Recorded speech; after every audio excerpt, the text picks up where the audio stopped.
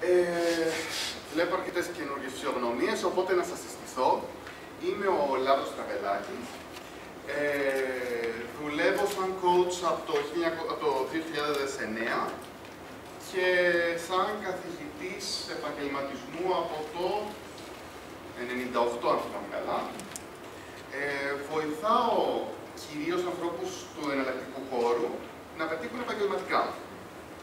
Ένας από τους πιο ε, σύνηθους τρόπους που το κάνω αυτό είναι μέσα από ένα σεμινάριο. Αλλά ο αγαπημένος μου τρόπος είναι να πιάνουμε το θέμα ο καθένας προσωπικά. Όχι σε ένα σεμινάριο δηλαδή που όλοι κάνουν περίπου τα ίδια πράγματα, αλλά να δούμε ατομικά το πώς δουλεύει αυτό το πράγμα. Σήμερα θα τα συνδυάσουμε αυτά τα δύο. Θα δούμε κάποια γενικά πράγματα για να αφαιρέσουμε λιγάκι από πάνω μας κάποιες, ε, ας το πω, προδιαθέσεις ότι δεν υπάρχουν πελάτες στην αγορά, ότι είναι πολύ ακριβές οι τιμές μας για να είμαστε άνετα, ε, να δούμε λιγάκι κάποια πράγματα τα οποία θα μας ανοίξουν την πόρτα και να αισθανθούμε πολύ πιο άνετα ως θεραπευτές. Είναι κάποιος εδώ πέρα ο οποίος δεν είναι θεραπευτής; Τέλεια. Ε, ωραία. Θέλω λιγάκι να ρίξετε τη ματιά σας στην Αθήνα. Είναι μια από τις μεγαλύτερες πόλεις της Μεσογείου, της Ευρώπης. Ε, αν δεν κάνω λάθος, είναι μέσα στο top 10, αν δεν είναι στο top 10, στο top 20 είναι σίγουρα. Έχει 5 εκατομμύρια κατοίκους και 5 δεν έχει 4,5 έχει. Και αυτοί είναι όλοι πιθανοί, όχι και τόσο πιθανοί, πελάτες μας. Θα δούμε όμως πώς είναι πραγματικά πιθανοί πελάτες μας. Γιατί σε κάθε γειτονιά, σε κάθε πολυκατοικία, σε κάθε οικογένεια υπάρχουν διαφορετικού τύπου άνθρωποι. Κάποιοι δεν θα μας στέλνουν επειδή ο γιατρός τους είπε τι μπουρδε είναι αυτά. Κάποιοι δεν θα μας στέλνουν επειδή δεν έχουν λεφτά. Άλλοι δεν αρρωσταίνουν ποτέ, δεν κάνουν ποτέ τους πρόληψη και δεν έχουν και καμία περιέργεια. Λίγοι, αλλά υπάρχουν και αυτοί. Εάν αφαιρέσεις λοιπόν όλους αυτούς, θέλουμε να δούμε τι μένει από τους εύκολους πελάτες. Όχι αυτού πρέπει να τους πείσει ότι αυτό που είπε ο γιατρός πάλι και για καλά, μήπω και δεν ισχύει 100% αλλά από τους ψημένους πελάτες, από τους έτοιμους. Επίσης, να μην ξεχνάμε ότι είναι και μια τουριστική πόλη.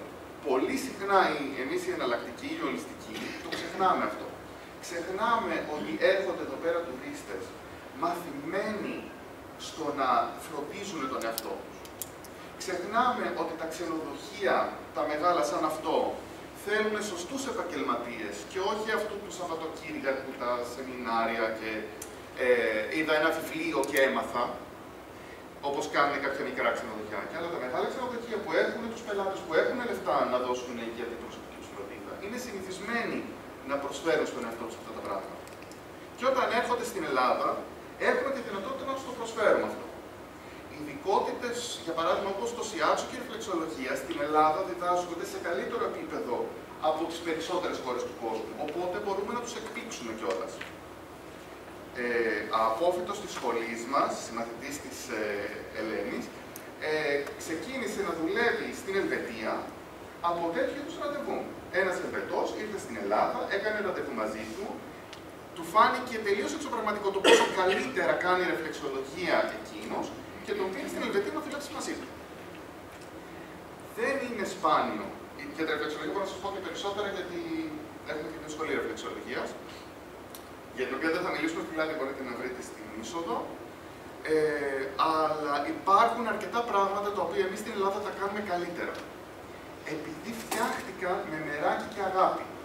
Ενώ στο εξωτερικό φτιάχνονται με οργάνωση και καθοσπρεπισμό. Οπότε εμείς εδώ έχουμε κάποια πλεονεκτήματα και αυτά μπορούμε να τα κερδίσουμε πάρα πολύ καλά. Οπότε οι τουρίστες που έρχονται εδώ μπορούν να μας προτιμήσουν με πολλαπλά αποτελέσματα. Και υπάρχουν και κάθε λογής ε, Υπάρχουν οι Σαρλατάνοι, υπάρχουν οι με 20 ετίες εμπειρία, υπάρχουν οι μόλις που τελειώσανε, υπάρχουν κάθε ειδοθεραπευτή. Και για κάθε ειδοθεραπευτή υπάρχει και άνθρωπος ο οποίος θα ε, θέλει δική του, το δικό του το άγγελμα. Γιατί υπάρχει αυτή η ποικιλία σε μια τόσο μεγάλη πόλη; Το θέμα μας όμως είναι ότι εμείς στη δική μας τη δουλειά Όσες καρέκλες και να βάλουμε στον χώρο αναμονής, άντε να γεμίσει η μία. Δηλαδή, όσο και να πούμε ότι εγώ έχω ελεύθερα 15 ραντεβού την εβδομάδα, δεν γεμίζουν και τα 15. Οι περισσότεροι από εμάς. Υπάρχουν και αυτοί που γεμίζουν. Αλλά οι περισσότεροι έχουν ακόμα κενά. Κενές καρέκλες στο, στο... Και αυτό δεν οφείλεται στο ότι δεν είναι καλοί θεραπευτέ. Αυτό οφείλεται κυρίως στο ότι δεν έχουν πρόσβαση στους πιθανούς πελάτες.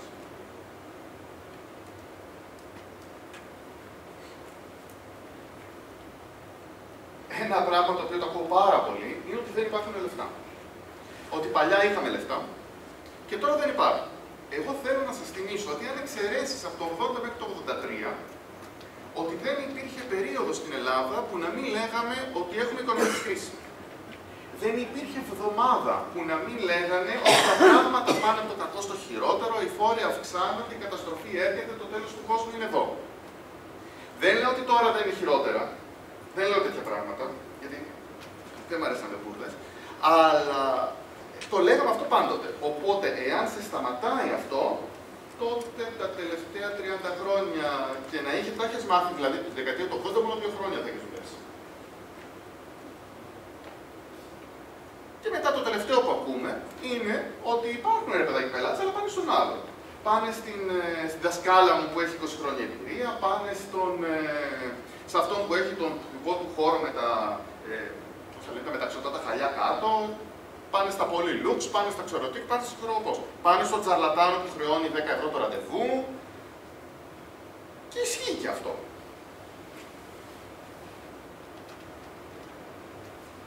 αλλά δεν ισχύει τόσο πολύ τόσο ώστε να μην έχει ο καθένας από εμάς αρκετούς πελάτες.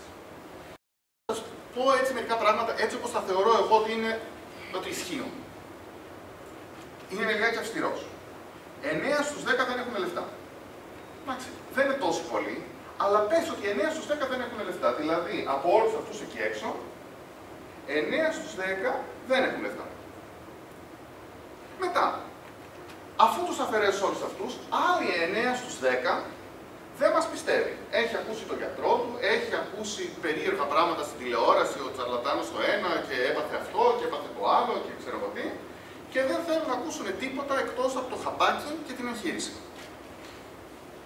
Υπάρχουν και αυτοί. 9 στους 10. Οι που δεν είναι. το ξέρουμε ότι δεν είναι τόσο πολύ. Αλλά εγώ βάζω στη χειρότερη περίπτωση. Και υπάρχουν και κάποιοι οι οποίοι δεν τους νοιάζει η υγεία του. Τι, τους, τι με νοιάζει εγώ να αρρωστήσω και να πεθάνω. Τι με νοιάζει εγώ να κάνω πρόληψη. Τι με νοιάζει εγώ να πονάει η μέση. Τι με νοιάζει εμένα να πονάει το κεφάλι. Υπάρχουν και αυτοί. Και το βάζω πάρα πολύ βαρύ, βαρύ. Ένας στους δύο δεν τον νοιάζει καθόλου η υγεία του.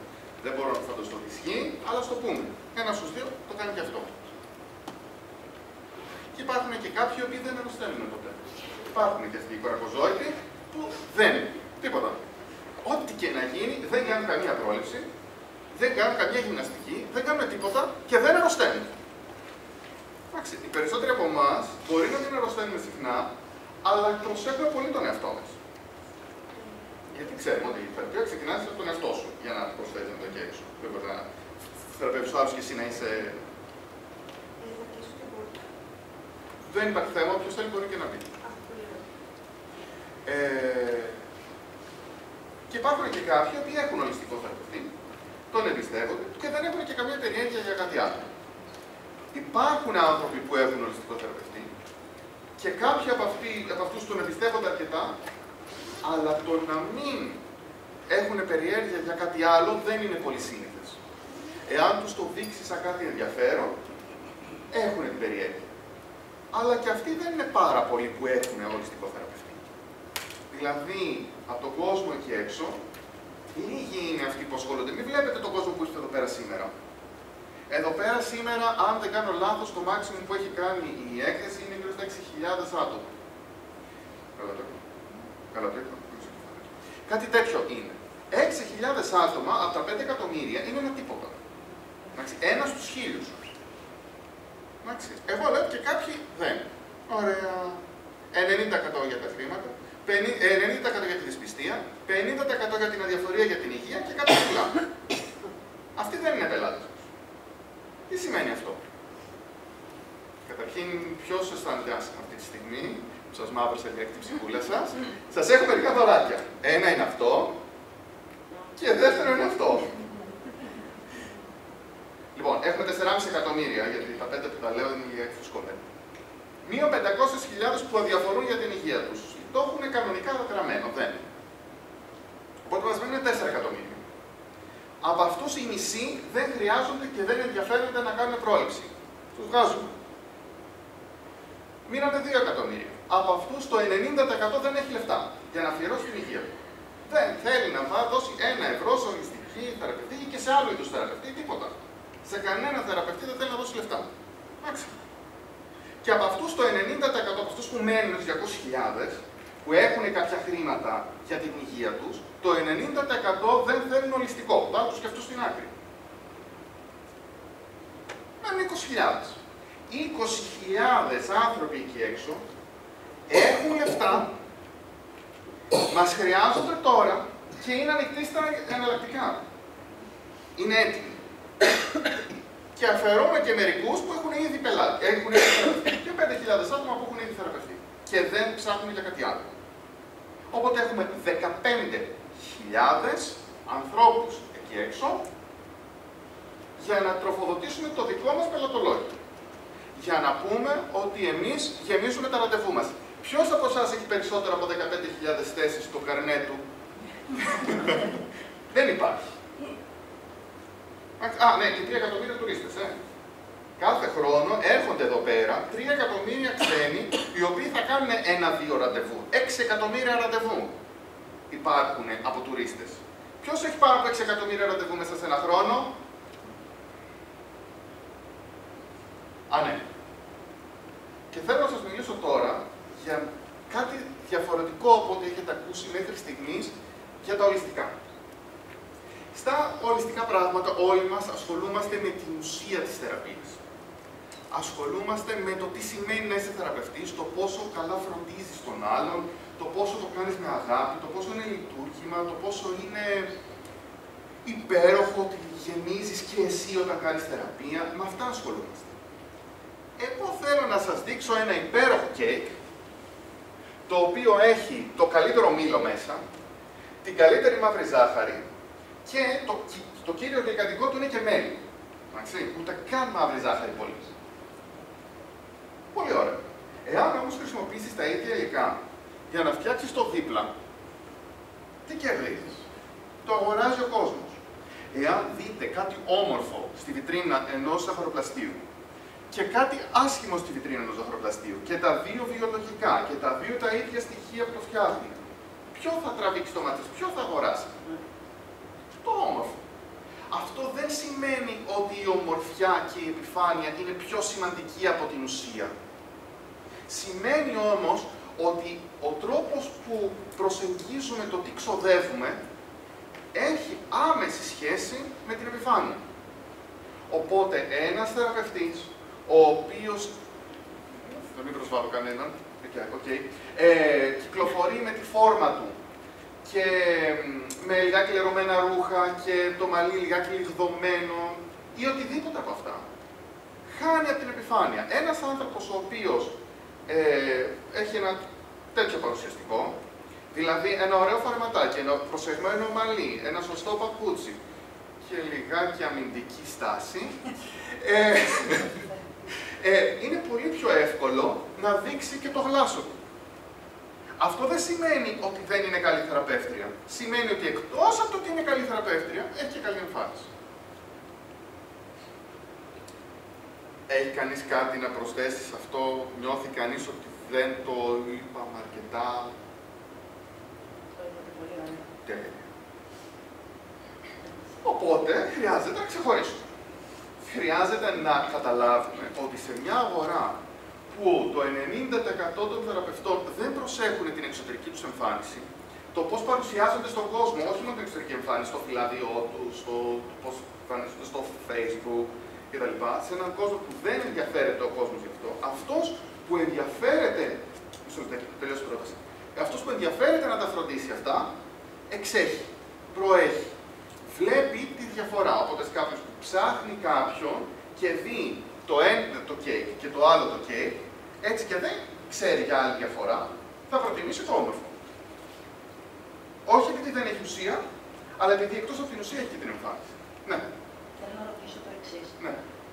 Αυτό που είπατε παίζει, έχει κάποιο ρόλο που παίζει και με το οικονομικό θέμα. Δηλαδή, ναι.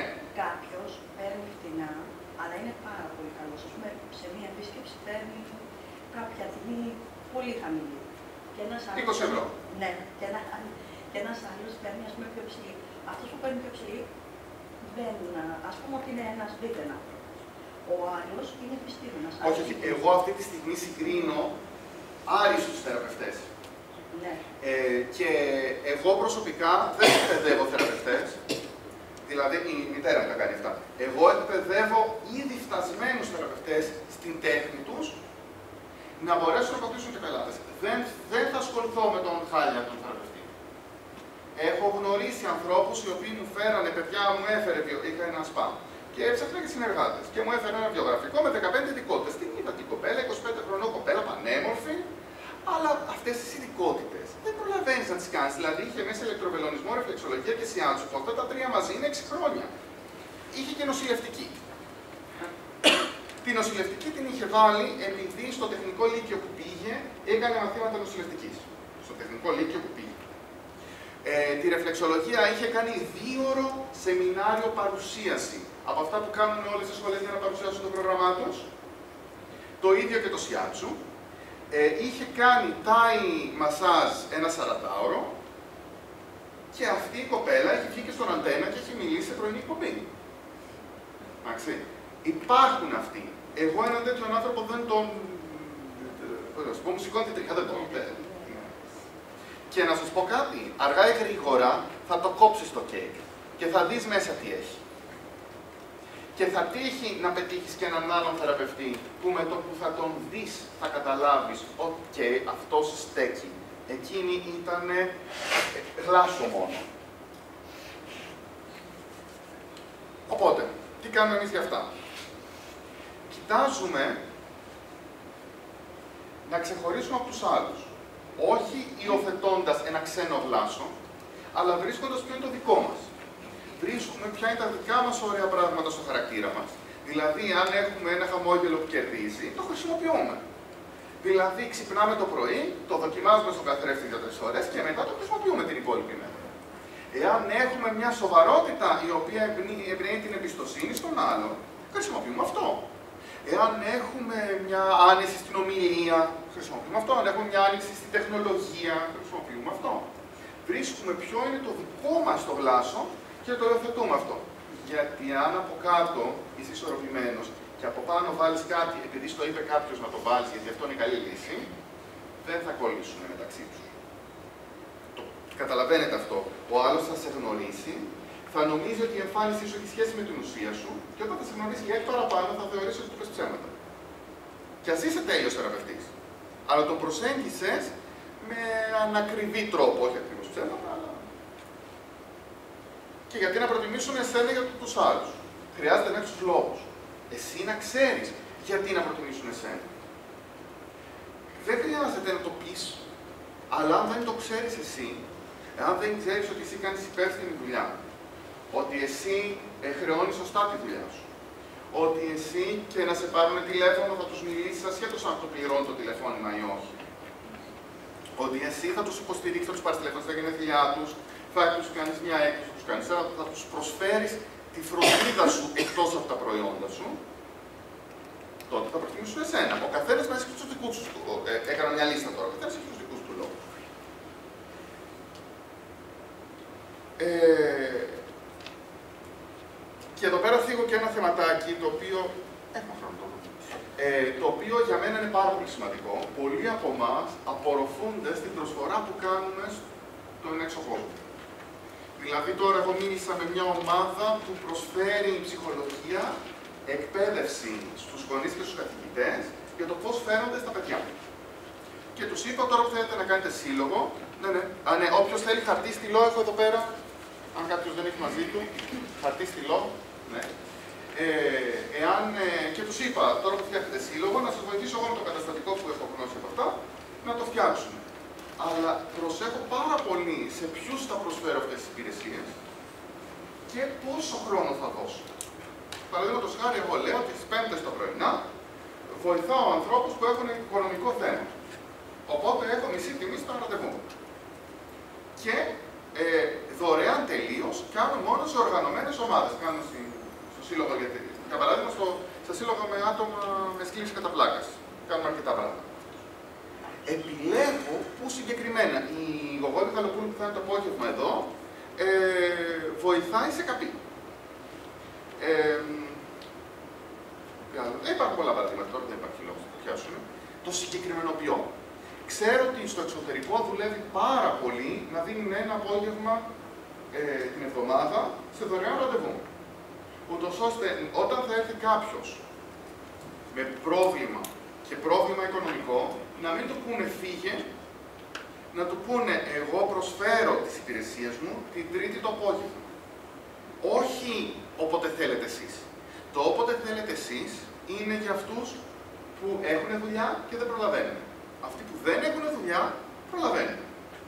Μπορούν να φτιάξουν το πρόγραμμά τους, ούτως ώστε να τους προσφέρεις εσύ δωρεάν τη φροντίδα σου. Εάν δεν μπορούν να το κάνουν αυτό, τότε υπάρχει λόγος που ζητάνε από σένα δωρεάν και δεν είναι, δεν σου ζητάνε φιλανθρωπία, σου ζητάνε εξυπηρέτηση. Και προσωπικά εγώ πιστεύω ότι την εξυπηρέτηση πρέπει να την πληρωνόμαστε. Την φιλανθρωπία εννοείται ότι δεν θα την πληρωθούμε, αλλά την εξυπηρέτηση πρέπει να την πληρωνόμαστε.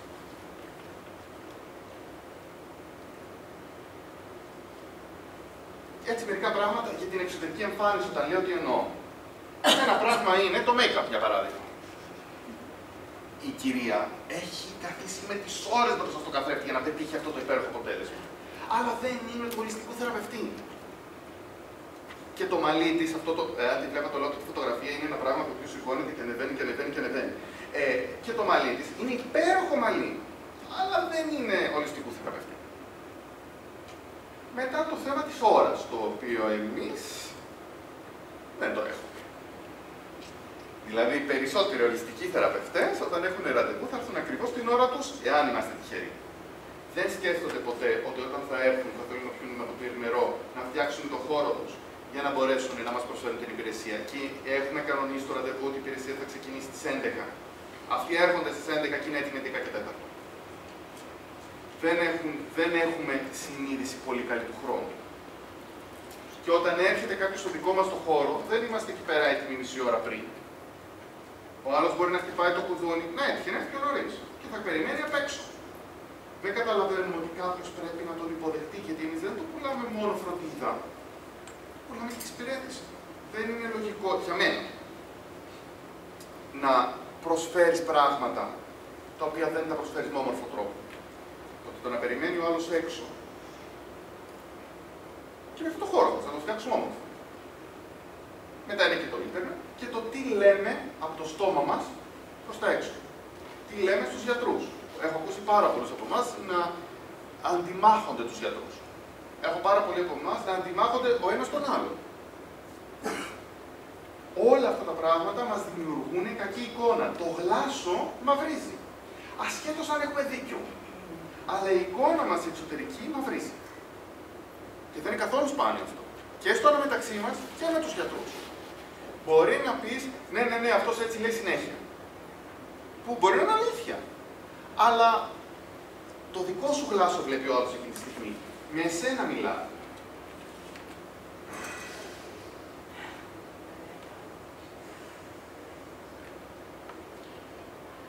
Ε, σε αυτό εδώ πέρα το μόνο πράγμα που θέλω να σας πω, για να προλάβουμε το σημερινό μας, είναι ότι ο Καλής είναι ο συνεταίρος μας. Είναι αυτός που θα χαρεί που έχουμε πολλούς πελάτες. αυτός θα έπρεπε να είναι ο στόχος μας. Γιατί αυτός είναι που θα μας διαφημίσει, αυτός είναι που θα μας φερθεί καλά, αυτός είναι που ό,τι και να επενδύσουμε πάνω του θα μας βγει διπλό και τρίτο. Και αν μας πει ότι ρε παιδάκι μου, εγώ έχω ακούσει για αυτού του είδους το σιάτσου και πάμε και το μάθουμε, αυτός μετά θα γίνει τριπλός διαφημιστής μας από ό,τι ήταν πριν. Γιατί συμμετείχε συνεταιρικά ουσιαστικά στην εξέλιξή μας. Δεν λέω να υπακούμε τους πελάτες, αλλά οι πελάτες του οποίους τους θέλουμε τόσο καλά πρέπει να τους φροντίζουμε και τόσο καλά. Και είναι κακοί πελάτες. Αλλά για μένα δεν υπάρχει κακό πελάτης. Κακό πελάτη υπάρχει μόνο αυτός που ήταν πελάτης. Με το που θα πούμε κάποιον κακό πελάτη, γιατί αργεί να έρθει, γιατί δεν πληρώνει στην ώρα του, γιατί με το που θα το πούμε αυτό, ότι είναι κακός, δεν είναι πελάτης μας. Εάν δεν τον βλέπουμε με θετικό μάτι, δεν μπορούμε να ζητάμε από εκείνον να μας δει με θετικό μάτι. Εάν εμείς δεν μπορούμε να δεχτούμε τα χούγια του, τότε εμείς από τα 15.000 άτομα που υπάρχουν στην Αθήνα, εμείς αν δεν ανεχόμαστε τον άλλον να καθυστερεί, θα χάσουμε τα 5.000. Μένουν 10.000 δεν υπάρχει θέμα. Αλλά χάνουμε ένα κομμάτι από τους πιθανούς πελάτες. Εάν πούμε όμως ότι δεν μ' αρέσουν οι Ξανθοί, δεν μ' αρέσουν αυτοί που καθυστερούν, δεν μ' αρέσουν αυτοί που κάνουν παζάρια, δεν μ' αρέσουν αυτοί που θέλουν ε, από την αρχή να τα πληρώσουν όλα για να πάρουν έκπτωση. Δεν μ' αρέσουν αυτοί που ξέρω εγώ τι και που ξέρω εγώ πώς και που ξέρω εγώ τι. Δεν μ' αρέσουν, δεν θέλω, ε, το έχω ακούσει αυτό. Δεν θέλω να κάνω σαν άντρες. Να κάνω σαν άντρες. Από το 15.000 πάω στο 7,5. Δεν υπάρχει πρόβλημα, αλλά ξέρεις ότι το μειώνεις. Και αν το μειώσεις πολλές φορές, δεν θα μείνει αρκετό κομμάτι για σένα. Και μην ξεχνάμε, το 15.000 είναι όλο το λεγανό παιδί. Και εσύ δεν θέλεις να τρέχεις τη μια μέρα στην, στην Γλυφάδα και την άλλη μέρα στο ή την ίδια μέρα το πρωί στην Γλυφάδα, το απόγευμα στην Πετρούπολη; Θέλεις να. Οπότε η δική μου προτροπή είναι να είστε ανοιχτοί σε όλου, αλλά όταν κλείσετε κάποια πόρτα, να είστε συνειδητοί σε αυτό. Και το ότι έχει πάντα δίκιο βασίζεται πάνω σε αυτό. Ότι όταν εσύ κρίνεις ότι δεν έχει δίκιο, ένα τμήμα των πιθανών πελατών το φέρεις. Δεν είναι ότι έχει δίκιο όντως. Είναι ότι για το δικό σου τρόπο σκέψης αυτός δεν είναι πελάτης. Και τώρα θα δούμε ο καθένας μας ξεχωριστά πώς θα θέσει την τιμή του. Εντάξει. Υπάρχει το σύνθες να δούμε τι χρεώνει η αγορά. Ο δάσκαλος μου τι χρεώνει, οι συμμαθητές μου τι χρεώνουν, ο, πώς το λένε, το σπάς εκείνη την περιοχή τι χρεώνει, η γειτονιά τι χρεώνει και σε αυτό το επίπεδο να διαμορφώσει την τιμή. Ή να πεις, εγώ θα μιλάω πιο ακριβώς γιατί ξέρω εγώ τι, ή λιγάκι πιο φθηνός γιατί ξέρω εγώ τι. Βασίζεις την τιμή σου πάνω στους άλλους. Ένα άλλο είναι να ψηλιαστείς ποια η τιμή θα πήγαινε περισσότερο σε σένα. Μπορείς να χρησιμοποιήσεις από αριθμοσοφία, μέχρι αστρολογία, μέχρι και εγώ δεν ξέρω τι. Να χρησιμοποιήσεις τον εσωτερικό σου κόσμο για να βγάλεις την τιμή. Εγώ θα σας πω έναν άλλο τρόπο. Ο τρόπος αυτός είναι να θέσετε στόχο πόσα χρήματα θέλετε να βγάζετε. Γιατί η τιμή της υπηρεσίας σας έχει σχέση μόνο με τα χρήματα. Δεν έχει σχέση με την αξία της υπηρεσίας σας. Η τιμή της υπηρεσίας σας έχει σχέση μόνο με τα πόσα χρήματα θα έχετε εσείς. Δεν έχει σχέση με την αξία της υπηρεσίας σας. Μπορούμε να το κάνουμε εμείς να έχει σχέση με την αξία της υπηρεσίας μας αλλά συνήθως για τους περισσότερους από εμά η τιμή είναι αρκετά υψηλή, δηλαδή έτσι και το πεις ότι αυτή είναι η αξία της υπηρεσίας μου. Δηλαδή, εάν ε, μέσα από τη ρεφλεξολογία μπορείς να βοηθήσεις μια κυρία η οποία έχει πονοκέφαλο από το ξεκίνησε η ενηνοζρίση της μέχρι σήμερα, αυτό η τιμή του είναι τι, να πούμε 5.000, 10.000. Δεν είναι. Είναι πάρα πολλά τα λεφτά. Και είναι δύσκολο να θέσει τη τιμή σου με την αξία σου μαζί. Οπότε όταν τις θέτεις μαζί και λες: OK, δεν έχει τόσο λεφτό, οπότε πάει λιγότερο, εσύ αισθάνεσαι ότι κόβεις από την αξία σου για να θέσει τιμή πιο χαμηλά.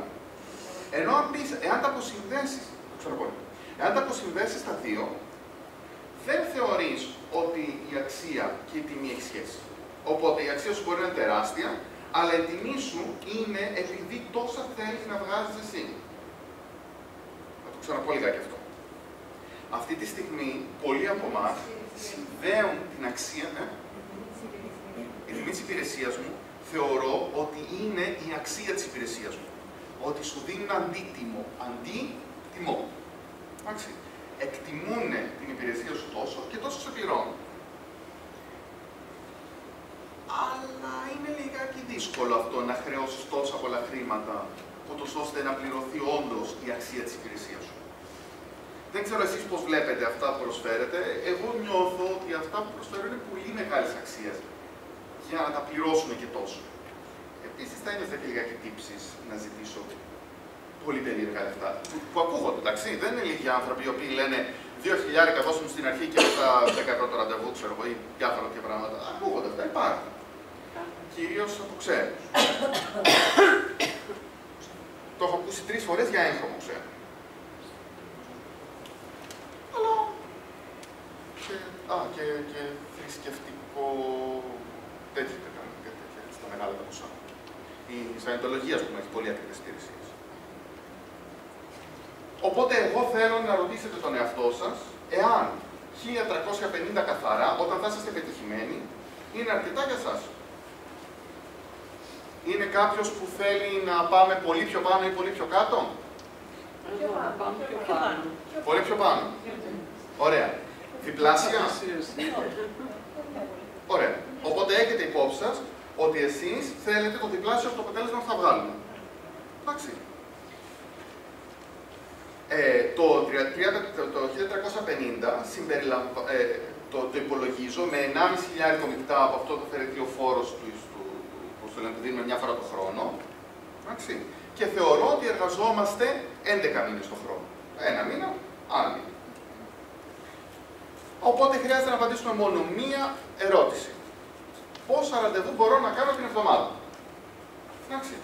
Υπάρχουν κάποιοι από εμάς που κάνουν επίπονη δουλειά. Αυτοί που κάνουν πούμε, ολόσωμο ε, μασάζ είναι κουραστική δουλειά. Δεν μπορείς να κάνεις πάνω από κάποια ραντεβού. Υπάρχουν κάποιοι άλλοι οι οποίοι κάνουν πιο ενεργειακά πράγματα και τους κουράζει σε άλλο επίπεδο. Ο καθένας από εμάς ξεχωριστά ξέρει περίπου τι βγάζει, τι, τι μπορεί να κάνει. Όχι να σκοτώνεται στη δουλειά, όχι να ε, αντέξει για μια-δύο εβδομάδες και μετά να μην μπορεί, αλλά ενώ όλη τη χρονιά να μπορεί να κάνει τόσο. Ενδεικτικά έβαλα για ρεφλεξολογία 16 ραντεβού την εβδομάδα, δηλαδή 4 μέρες από 4 ραντεβού, είναι ένα χαλαρό πρόγραμμα. Άνετα θα μπορούσε να είναι και περισσότερο. Ε, Ελένη, που είσαι και ρεφλεξολόγο, πώς το βλέπεις; Λίγα. Εσύ πόσο θα έλεγες δηλαδή; 20.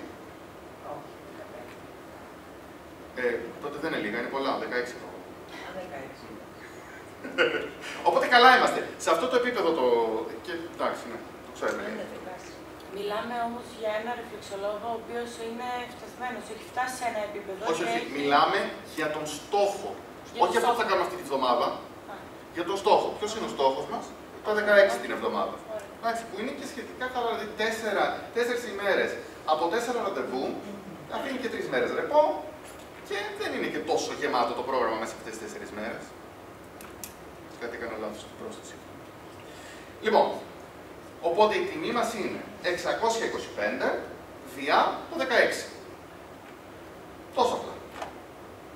Και θα σας δώσω φυλαδιάκι που τα έχει αυτά τα πράγματα γραμμένα. Ναι. Ε, θα έχει μέσα και αυτό το 90% που είπαμε 50%, 50% και αυτό τον υπολογισμό και τον επόμενο που θα κάνουμε.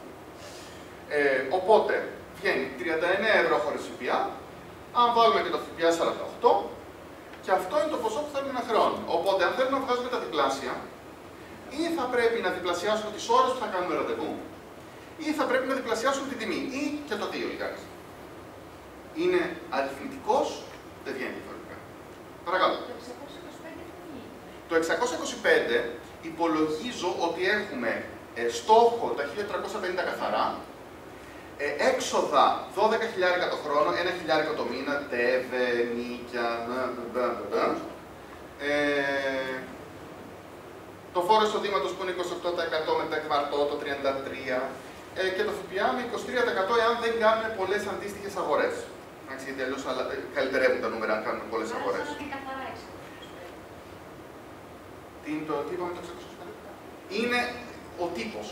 Ε, με ψηλά γραμματάκια εδώ πέρα, αλλά και στο χαρτί που θα σας δώσω, γράφουμε η τιμή χωρίς ΦΠΑ είναι ίσο. Με τα ετήσια έσοδα που θέλουμε να βγάζουμε, τα έσοδα, συγγνώμη, τα ετήσια κέρδη, τα ετήσια κέρδη, συγγνώμη, που θέλουμε να έχουμε, διά του 48, που είναι οι εβδομάδε που θέλουμε να δουλεύουμε, επί το πόσα ραντεβού, πόσα ραντεβού θα κάνουμε την εβδομάδα ή πόσα ραντεβού θα κάνουμε το χρόνο, αν θέλετε, το από κάτω.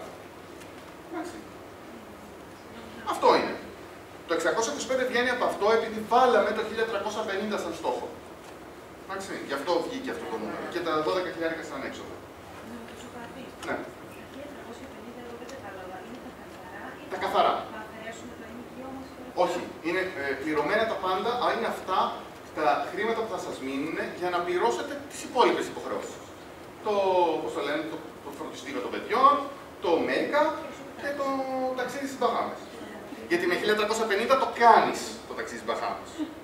Εντάξει. Ε; Μας άρεσαν οι Μπαχάμες, κατάλαβα. Να το χρησιμοποιώ. Ε, οπότε, η επόμενη ερώτηση, και θεωρώ η μόνη άλλη που χρειάζεται να κάνουμε, είναι πόσους πελάτες χρειάζομαι. Εντάξει. Αυτό μένει. Πόσους πελάτες χρειάζομαι να προσεγγίζω, να έχω ενεργούς κάθε χρόνο, για να βγάζω τα 1350 καθαρά. 1500 μεικτά. Και χρειάζεται πάλι μόνο μια ερώτηση να απαντήσω πόσα ραντεβού αναέτος κάνουν συνήθως οι πελάτες μου. Αν δεν υπολογίσουμε τους πελάτες, οι οποίοι κάνουν μόνο ένα-δύο ραντεβού και εξαφανίζονται; Οι πελάτες οι οποίοι είναι πελάτες και όχι δοκιμαστές, πόσα ραντεβού κάνουν αναέτος; Θέλει κανείς να μου πει κανένα νουμεράκι. Η ερώτηση τι είναι, αυτή η ερώτηση θα μας πόσα ραντεβού, ναι, πόσες συνεδρίες κάνουν. Δηλαδή, πόσες, πόσα 45 λεπτά κάνει αυτός ο άνθρωπος, οι, οι περισσότεροι πελάτες.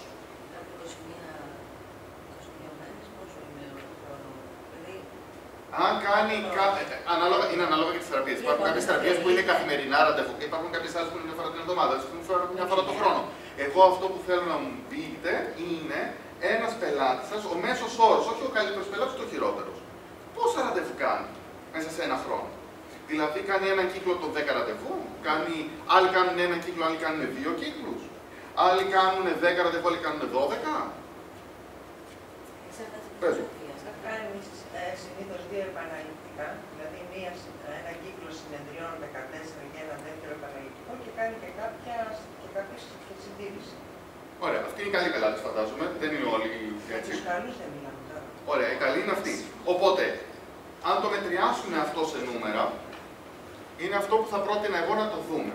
15 ραντεβού ο πελάτης το χρόνο.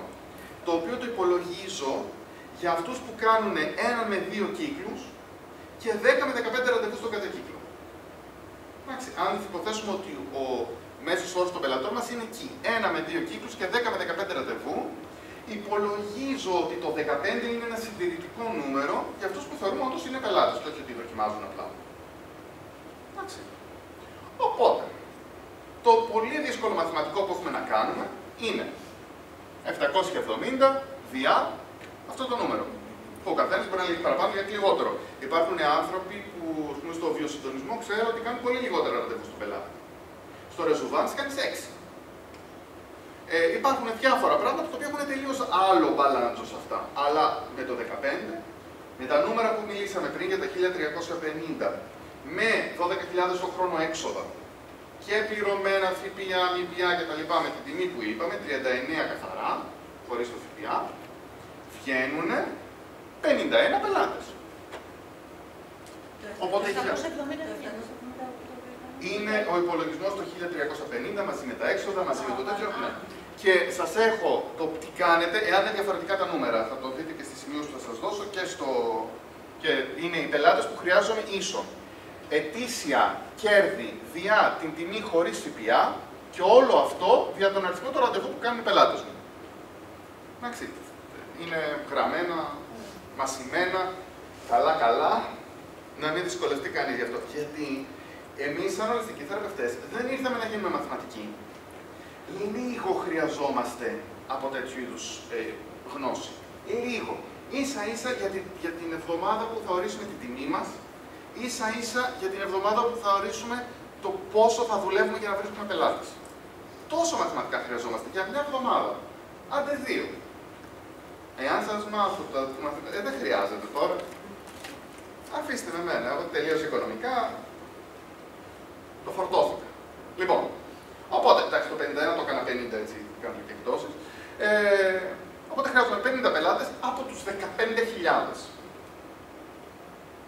Δηλαδή, το 1% του πληθυσμού εκεί έξω που έχουν λεφτά, που εμπιστεύονται τα ολιστικά, που ενδιαφέρονται για την υγεία τους και που δεν έχουν θεραπευτεί είναι η τριπλάσια από όσους χρειάζεστε. Το 1% είναι η τριπλάσια από όσους χρειάζεστε. Το 1% των διαθέσιμων ανθρώπων που είναι έτοιμοι να τους πιάσουν πελάτες είναι το τριπλάσιο από όσους χρειάζεστε. Δεν υπάρχει κανένας λόγος να μην τους έχετε. Δεν υπάρχει κανένας λόγος να δουλεύετε το πρωί στην τράπεζα και το απόγευμα ρεφλεξολογία. Δεν υπάρχει κανένας λόγος να πιέζεστε οικονομικά. Και αν χρειάζεστε εσείς τα διπλάσια, χρειάζεστε 100. Λιγότερο από το 1% είναι και αυτό. Και αυτό γίνεται. Εάν αντέχουν τα χέρια σας να δουλεύετε, μπορείτε. Και υπάρχουν και θεραπείες οι οποίες δεν χρειάζεται να αντέχουν τα χέρια σου. Α πούμε τα αθοϊάματα. Δεν είναι κουραστική δουλειά. Υπάρχουν. Το ρε. Το ρε. Δεν είναι κουραστική. Είναι ένα είδος ρεφλεξολογίας για πιο ενεργειακό. Ρεφλεξολογικές ενεργειακές ροές. Είναι ένας τρόπος ρεφλεξολογίας πιο ενεργειακός. Δεν έχει κούραση, δεν πιέζει με το χέρι. Το ξεκίνησα την προηγούμενη εβδομάδα. Ε, ε, Ω δέκτη. ναι, γιατί αυτή τη χαρά την έχουν οι δέκτε και το ξέρετε. Οπότε, και από αυτούς τους 50, να σας θυμίσω ότι έχουμε παλιούς πελάτες. Κάποιοι είναι παλιοί πελάτες και κάθε χρόνο είναι ενεργοί και εμφανίζονται. Γιατί, γιατί έχουν σκλήνηση και ποτέ δεν γίνεται καλά, γιατί. για οποιονδήποτε λόγο. Γιατί θέλουν να κάνουν συντήρηση στην υγεία τους και δεν είναι λίγοι αυτοί. Και αν αντλήσουμε την εμπιστοσύνη αυτών των ανθρώπων, θα του έχουμε μονίμου να μας μειώνουν το 50 σαν στόχο και να το κάνουν συνεχώς όλο και μικρότερο στόχο. Και αυτοί έχουν συγγενείς και φίλους που θα μας τους φέρουν ούτως ή άλλως. Δηλαδή, με το που θα ακούσει η κυρία Μαρία, η οποία μας εμπιστεύεται ότι η ανιψιά της πονάει συνέχεια η μέση της και δεν μπορεί να κοιμηθεί το βράδυ, θα πει Ελένη μου, Ελένη μου, πήγαινε σε παρακαλώ στην ανεψιά μου. Οπότε κέρδισε ένα καινούριο πελάτη και από 48 πάω στο 47 και από 47 πάω στο 46. Και πρέπει τους υπόλοιπους να βρούμε τρόπο να τους προσεγγίσουμε. Πώς είναι οι υπόλοιποι; Δηλαδή, εσείς, πείτε μου λίγα νούμερα, πόσους πελάτες έχετε από αυτούς που είσαστε ικανοποιημένοι με τα πόσα ώρε που κάνουν το χρόνο; Ποιοι έχουν πάνω από 5. Πάνω από 5 πελάτες; Όχι. Πάνω από 10.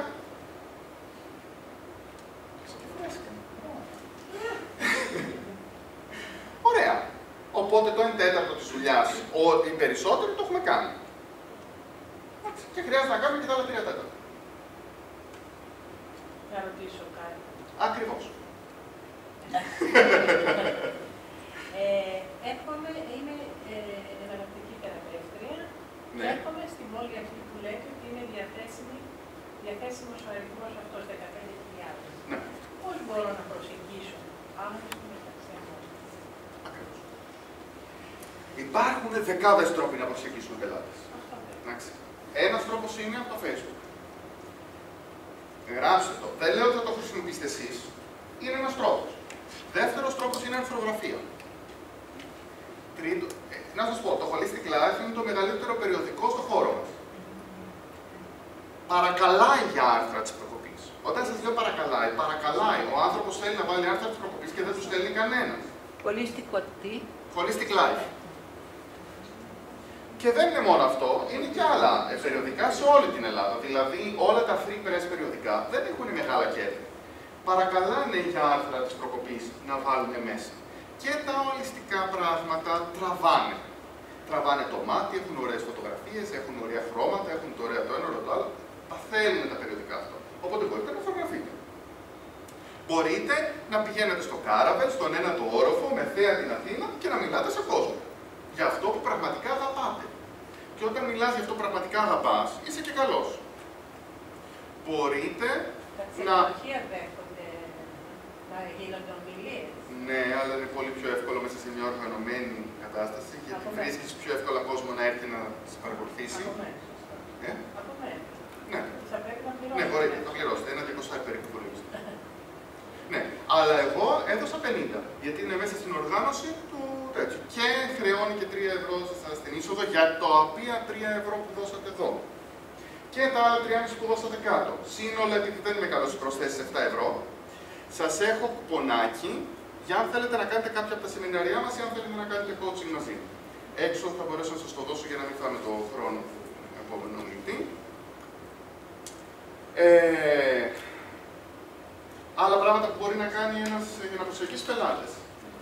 Να κάνει δωρεάν ρεφλεξολογία, ε, να κάνει δωρεάν τη θεραπεία του, συγγνώμη, ε, στην κομμότριά του, στον ε, που πουλάει ψωμιά, στους, στο γιατρό ή στους συγγενείς του, στον οδοντίατρο συγγενείς του, στους φαρμακοποιούς.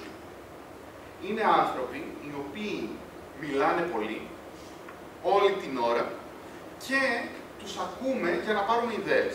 Κάποιους τους εμπιστευόμαστε πολύ περισσότερο, τους γιατρούς, τους φαρμακοποιούς, και κάποιους λιγότερο, το κομμωτίας Αλλά η προσέγγιση αυτών των ανθρώπων είναι ένας εύκολος τρόπος να δούνε αυτοί ότι το χέρι μου που έχει διαλυθεί από το πιστολάκι ε, έγινε καλά με αυτό το πράγμα. Εγώ για μια μεγάλη σειρά ετών, ε, οι μόνοι πελάτες που είχα ήταν οι ακομωτές.